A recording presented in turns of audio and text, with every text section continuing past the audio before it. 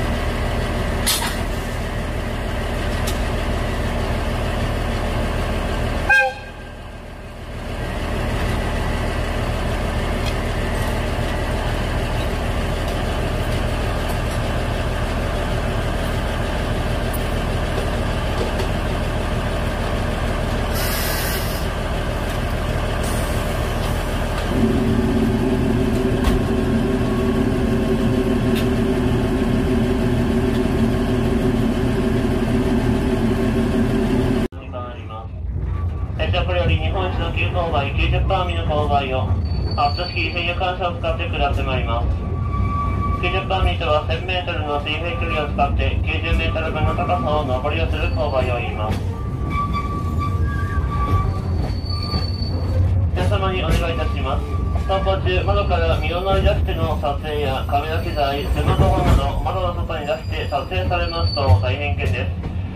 プラスチック機能を使った撮影、またライトの、点灯での撮影は運転の妨げとなりますので、プラスチック機能並びにライトの点灯はお聞きいただきますようお願いいたします。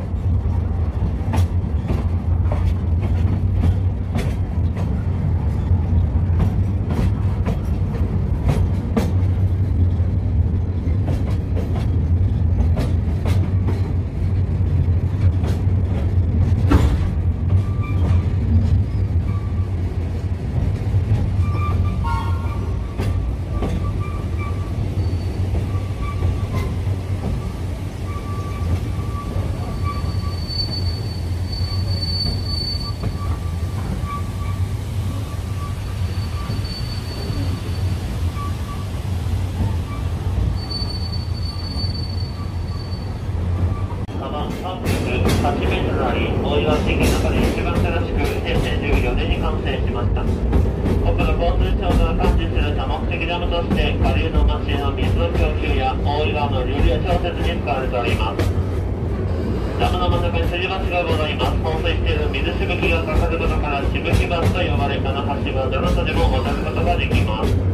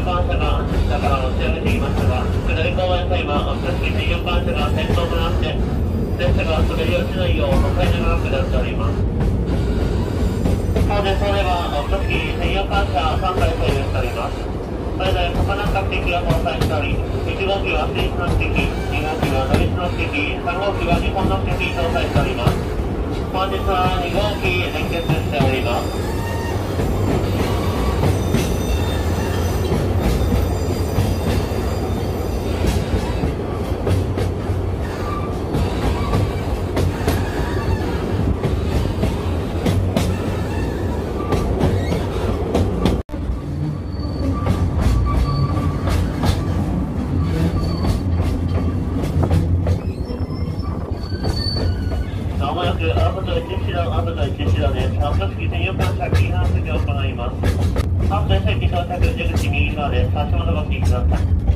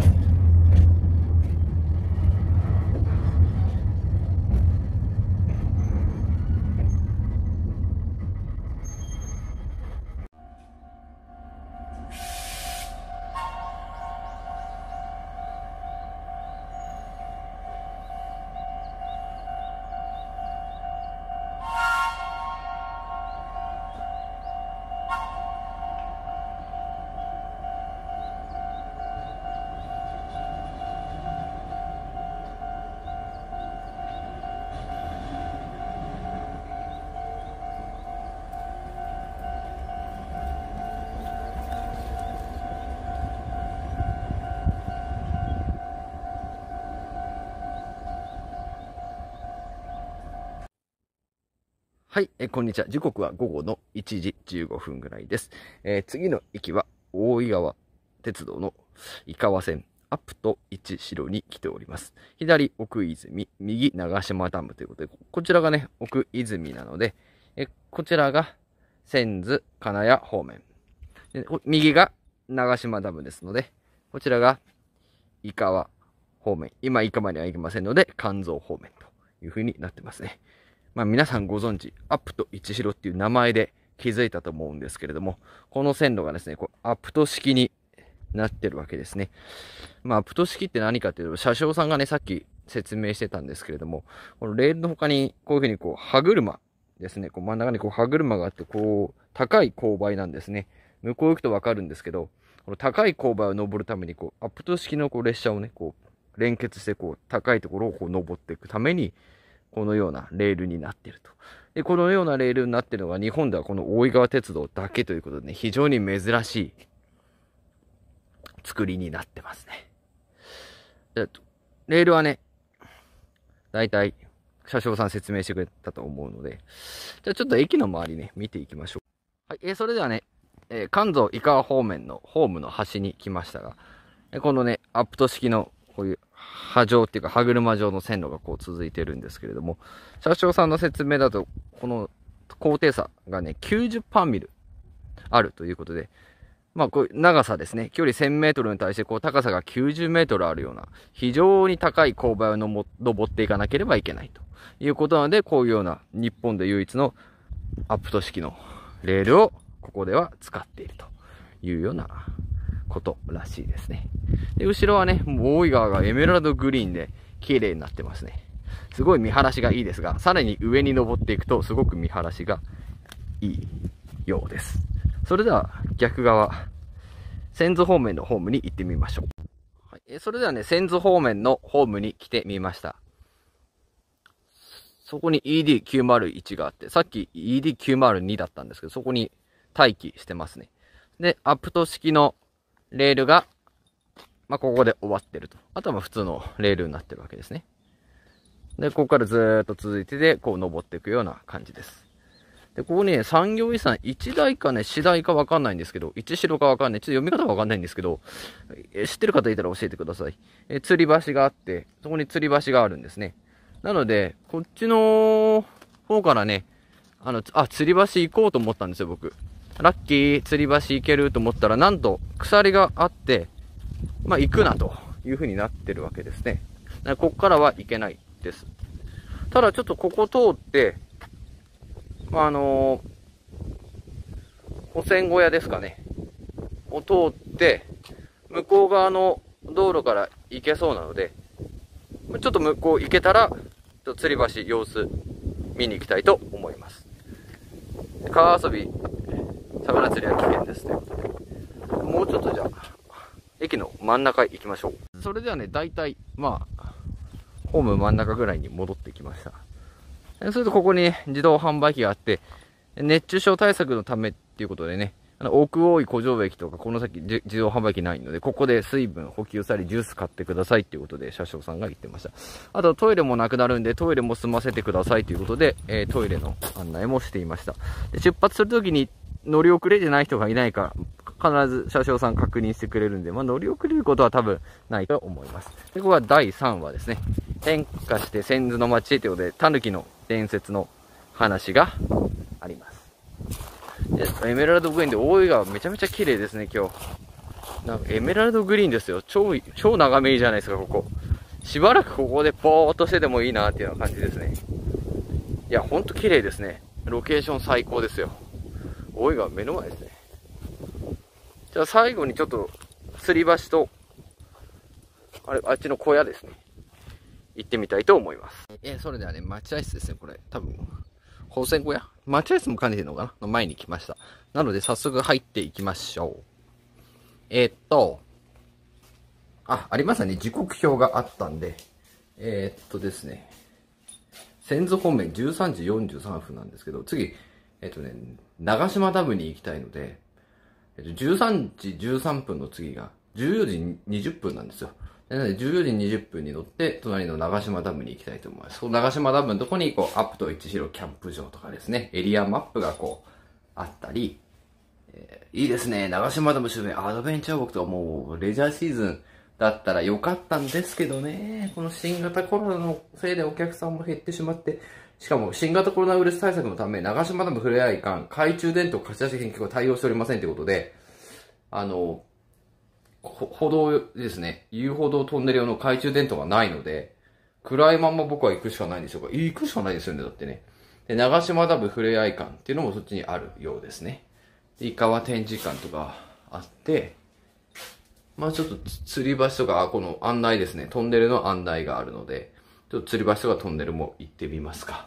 で、料金表が、運賃表ですね、あって、井川830円。